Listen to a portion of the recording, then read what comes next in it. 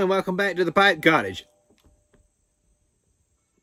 You know, uh, in 1945, Bing Crosby starred in a film entitled The Bells of St. Mary's. It was a film about uh, a Catholic nun and a, and a priest, and they were trying to save a school in their community. But when I was a boy, my daddy, one of the first songs he ever taught me on the five-string banjo was the theme song for the Bells of St. Mary's movie that came out in 45.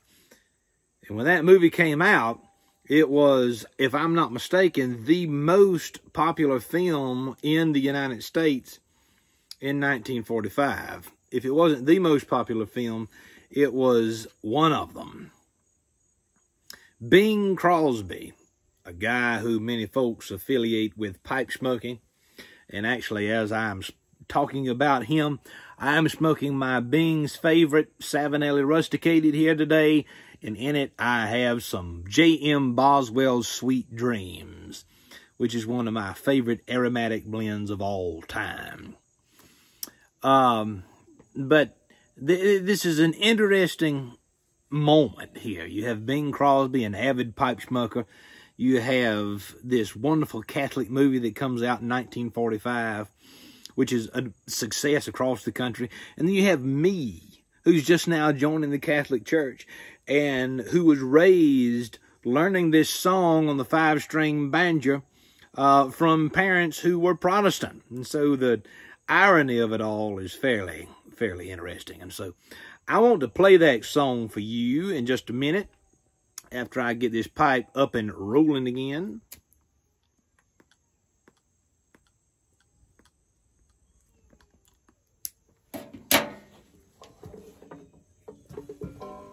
So let's see if we can make it happen.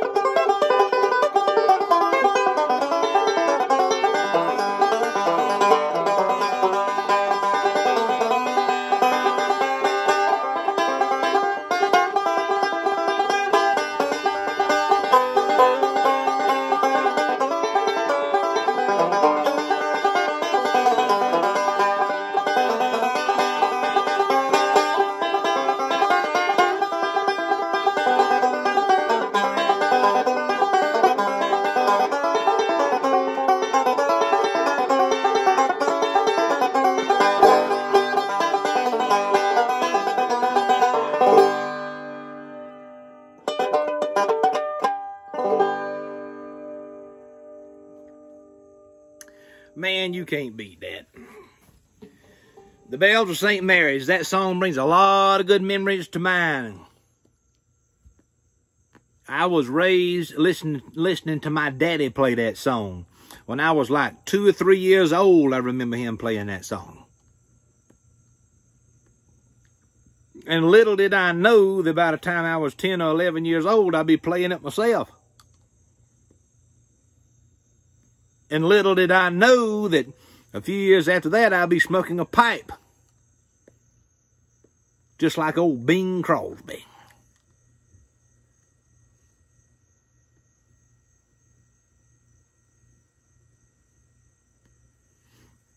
I wanted to uh, once again let people know that Uh, I'm leaving tomorrow to go to Steubenville, Ohio. I will be uh, on the Pints with Aquinas uh, YouTube channel and podcast live this coming Thursday evening at 6.30 Eastern. That's September 21st, 2023.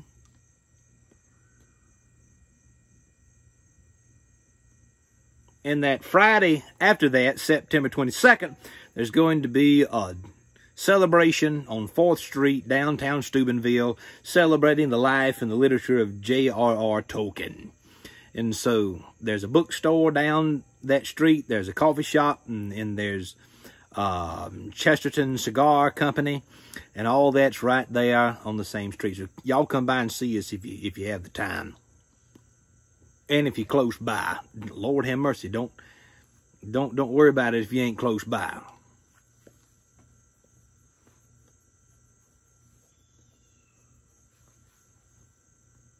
But y'all pray for us. Y'all pray for us. We've got a we've we've enjoyed going to mass. We are going through RCIA right now, becoming a part of the Catholic Church, but we're receiving a lot of criticism. A lot of criticism from family and friends. I've lost some friends over this, but it, it, that's nonsense. God is good. God is gracious. The Lord is evermore on his throne. And uh, we just want more of Jesus in this family, and we're so excited about what God has in store for us.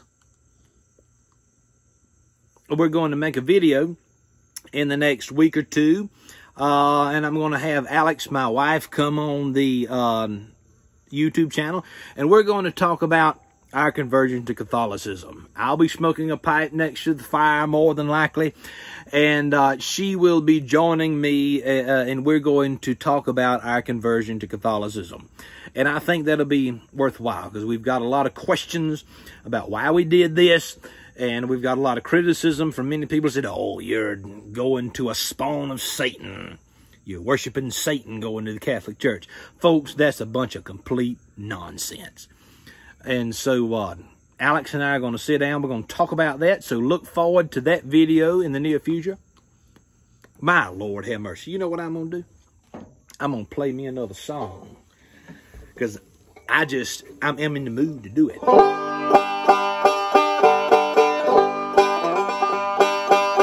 There was a song that my daddy and I used to play when we were traveling playing music. And uh, it's an old hymn entitled Keep on the Firing Line. And uh, if you recognize it, good. If you don't, just sit right there and listen.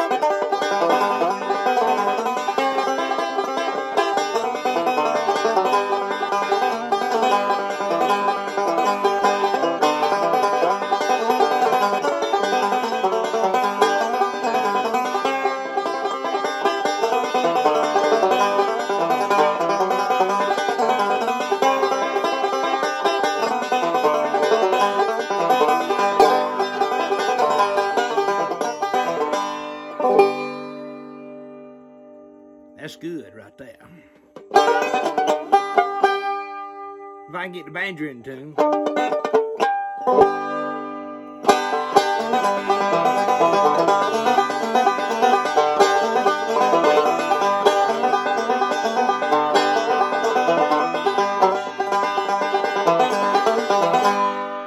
I can sit here and pick all day, but I ain't got the time.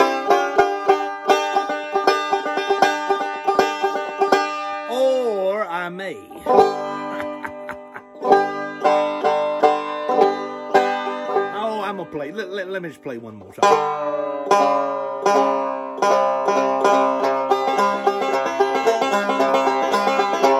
This is an old song from the Civil War and called uh, called "Home Sweet Home." Um, there's a legend that at the Battle of Fredericksburg in December of 1862, um, which which was very close very close to Christmas, uh, both the Union and Confederate armies were singing this song together across separate banks of the Rappahannock River in December of 1862. There was a lull in the battle, and uh, legend tells us that they were singing this song together. And uh, I'm going to play the Earl Scruggs version of it. A song called Home Sweet Home.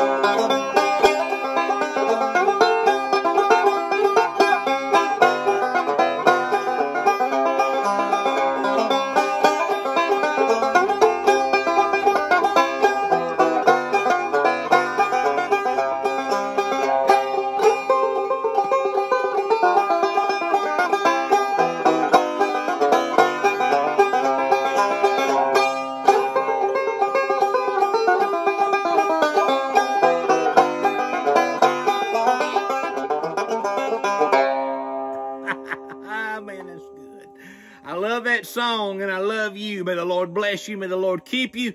May the Lord keep you safe from all the harm that's going on around you. God is good. Y'all tune in next time for the Pipe Cottage. This is Alan Harrelson. Thank you for stopping by.